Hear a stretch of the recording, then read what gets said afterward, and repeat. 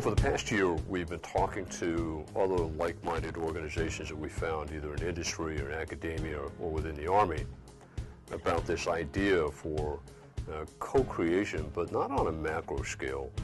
Uh, co-creation that essentially gives uh, soldiers a platform to come together and voice their problems and voice their concerns and that's turned uh, and put back into the fight. I believe co-creation is accessing the community of soldiers, industry, and academia to develop any idea further than if it hadn't received outside collaboration. What's meaningful about co-creation to the soldier, in the battlefield especially, is you are working with their input, starting with their challenges, and you're asking them, what is it that you need to solve you're giving them the ideas that they have as an initial solution set, and then you are working with those back and forth with the group that had the problem initially in order to be able to come quickly to a set of solutions that they can judge and evaluate in a theater of operations. Particularly valuable in industries where good solutions need to be found in a time-critical manner. And that, after all, is the definition of an environment that a soldier works in. I'm Colonel Pete Newell. I'm the director of the U.S. Army Rapid Equipping Force, uh, an organization charged by the Army with rapidly developing solutions to problems for soldiers in the battlefield.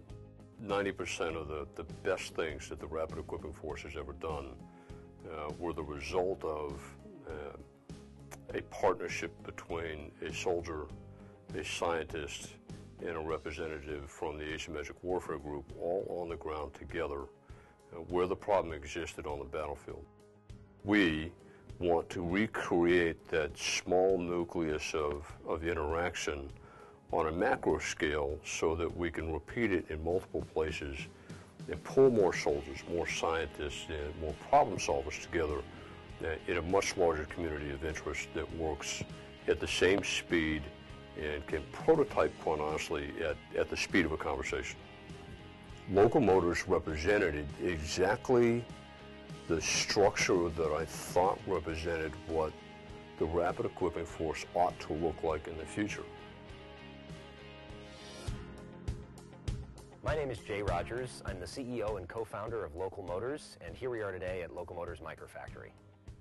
Local Motors was approached by the REF to talk about what we had done in the creation of cars, the co-creation quickly, and then the micro-manufacturing of those. Today, we're trying to be a different way of approaching problems. We at Local Motors are trying to say, because challenges change and come at you so fast, the solution provider needs to be able to read those challenges and give multiple robust solutions to those challenges as they come up. You can have the best team in the world and uh, but the minute you define that team as a, as a fixed set of people, you've just made your skill set static. The thing about a community is that that adaptation, instead of it being, well, I hope I have this guy who is enough of a genius that he can basically flex from one challenge to the next, now you, you could have any number of different people that if you set it up right, the right people basically get attracted to the right problem. And now you've got a team that is fully dynamic and flexible, so you just have to have your techniques down for getting the word out to the people for whom that challenge will really, you know, uh, tickle in the right way. And that's why we're approaching this business model in a different way.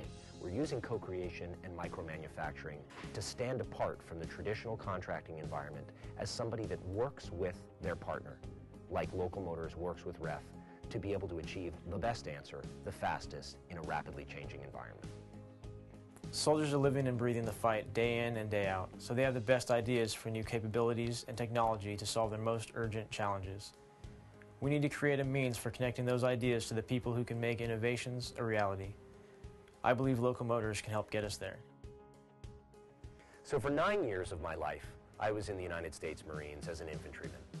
And I constantly felt the pressure of having too little tools at my behest to do jobs that were too big for any rational person to take on at once. Therefore, solving that effective imbalance was the number one thing that I wanted to do as a soldier, as a Marine in the battlefield.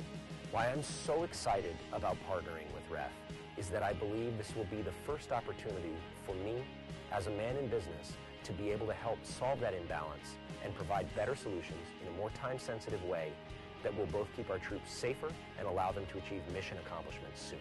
And that's why we're so excited about working with the REF. Innovation's been around forever. Soldiers have been innovating in every fight that they have ever been because that's what they have to do to survive. The great thing about co-creation at the soldier level, it is innovation by soldiers for soldiers. And it's really who we want solving the problems and identifying the battlefield. They're the smartest guys out there. They know what the problems are.